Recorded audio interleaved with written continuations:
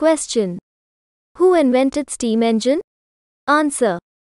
Thomas Newcomen invented steam engine in 1698.